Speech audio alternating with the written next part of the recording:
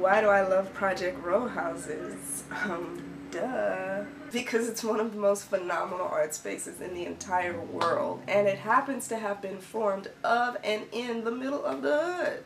Yeah, I said it.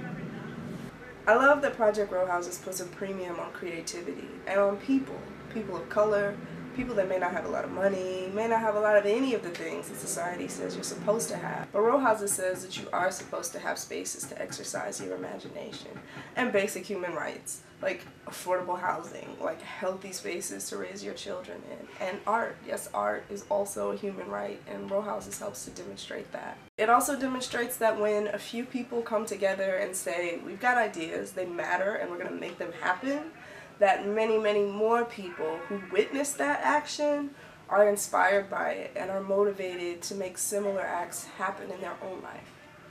I really can't overstate, for me, how important it is to have this example functioning, operating, growing in the world, to know that Row Houses is there doing its thing, like it's done its thing, like it will continue to do its thing.